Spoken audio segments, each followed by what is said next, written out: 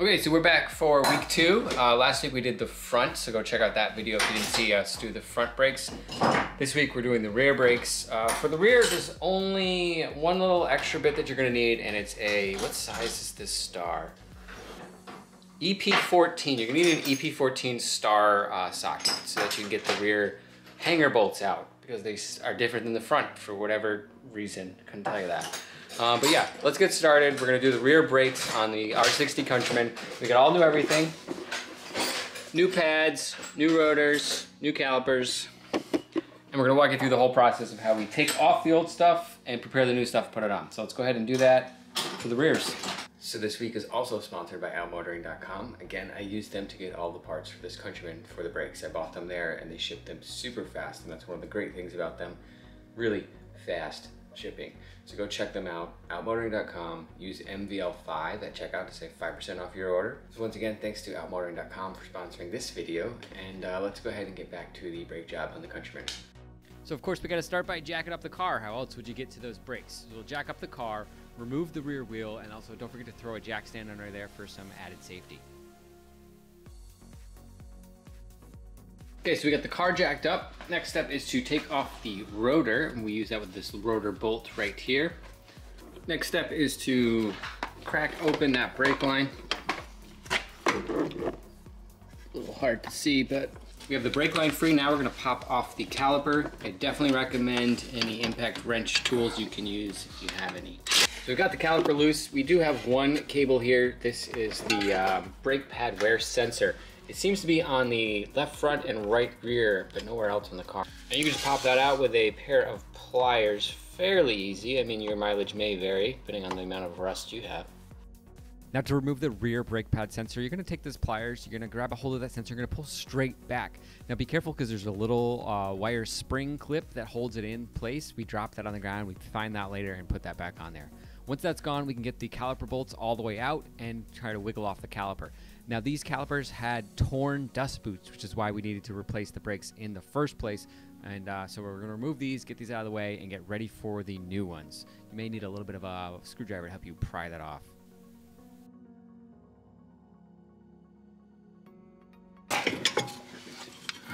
Next, we got to get the e-brake out of the way. Um, in order to do that, we got to rotate the clip that holds the e-brake cable in there, and then you just pop it out like that. There it is. And then from there, you can use a 13 millimeter wrench to open up the e-brake and pop out the e-brake cable just like that. All right, next up is the uh, hanger bolts.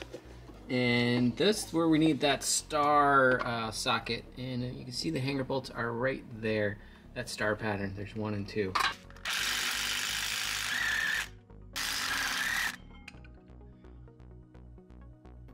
Okay, so while we've got this hanger off, we're going to take out these old mount clips, just like we did on the front, and we'll replace them with the new ones that came with the new Textar brake pads. And also while we're here, we'll re-grease these slide pins just to prolong their life a little bit more.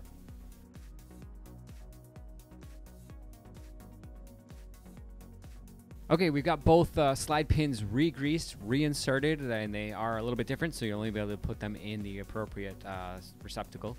Now we can go ahead and get the new mounting clips and get those installed onto this hanger. So we'll take out those clips and just snap those on. They only go one way as well, so you'll be able to see it uh, visually when you go to try put it on there.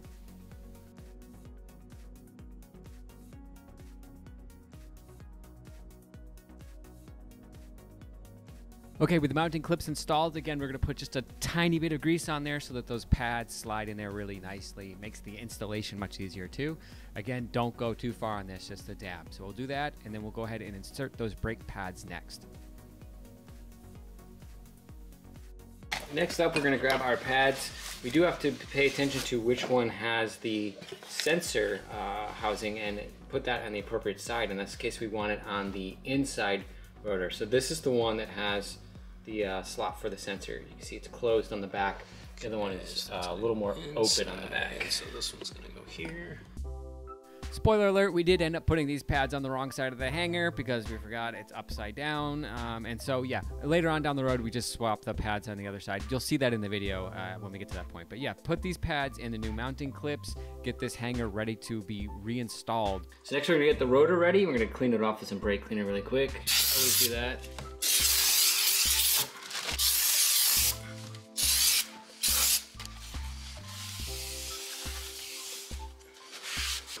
Caliper out of the box.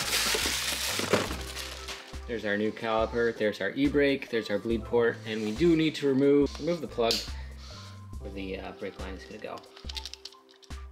Okay, so at this point, we're ready to remove that old caliper. We need a 14 millimeter wrench, and we're gonna break that line open so we can twist the caliper off of the line. You don't wanna twist the line because you might uh, break it or kink it up. So definitely just hold the brake line and twist the caliper off of that line. So now we're gonna take the new caliper and just do the opposite. We're gonna hold the line and twist the new caliper on. Look how much shinier this caliper is. Give it one more winter and it won't look the same. Go ahead and tighten that down because we're ready to go on to the next step. Okay, new caliper is on. Now we're gonna get the rotor, the hub ready for the rotor. We're gonna put a little bit of uh, Never-Seez on there so our lives are a little bit easier in the future. So we take our new rotor and we're gonna line it up uh, with our rotor bolts to hold it on there. There it is right there.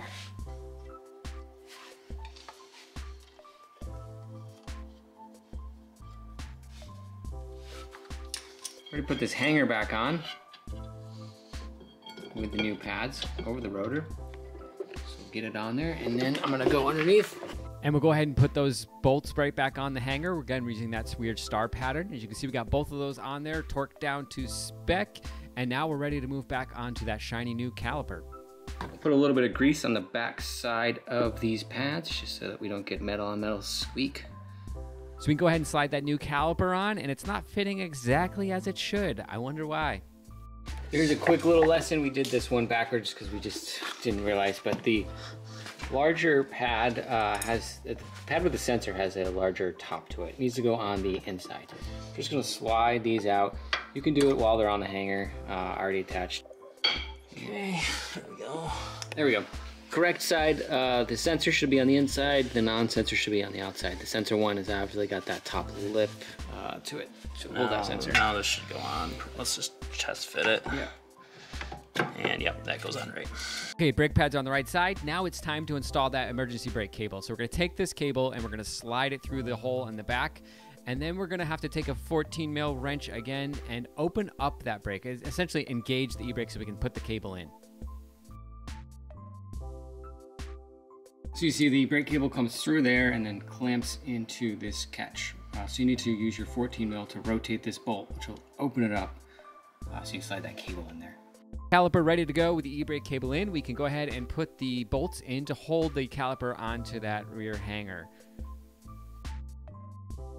As a reminder from last week, the hanger bolts are set to 88 foot-pounds of torque and the uh, caliper should be set to 22-ish. I'll leave the exact numbers down in the description so you can check that out. So just be aware that the uh, clip that is on the uh, wear pad sensor can fall out, ours did fall out. So make sure you put it back on there.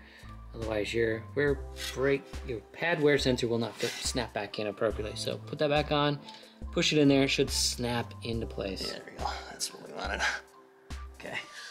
Uh, last part we need to do, put our Often forgotten. e-brake clip back on. You're just gonna snap it on and then rotate it so that it can't back out. It's up against the uh, arm of the e-brake. So that should be it. Next step, Bleed the brakes. bleed the brakes. So the last step is to bleed the brakes. We're gonna need two people to do that. One is gonna pump the brakes. The other is gonna open the bleeder valve and uh, just let the air bubbles out until it's all set. It might be a good idea to go ahead and put some more fluid in the reservoir before you do that so you don't run out. And your brake fluid reservoir on an R60, please don't mind the leaves, is way up here in this little hidden compartment. Up there in the, in the sill. So pop open the hidden compartment and then there is your brake fluid reservoir. Oh yeah, some bubbles there. Okay, so after it's done being bled, we're gonna remove the hose. Then we're gonna put the uh, sensor cable inside the cap uh, for the for the bleed valve. So put tuck it in there, and then pop that cap on there so no dirt gets in there. And that is all set. We're gonna put the tires on. Just double check the reservoir to make sure there's plenty of brake fluid in there, and then uh, go for a test drive. So yeah, that's gonna be it for this one. Uh, the rears are done. If you hadn't seen how we did the fronts last week, go check out the video. I'll leave a link for that. Uh, but leave any questions you have for the rears or the fronts. I'll try and answer them. If not, Adam will answer them. And uh, just make sure things look good uh, before you go out on that racetrack. So yeah, subscribe if you haven't already. Wave, wave to other minis when you see them. And that's to be it for this one.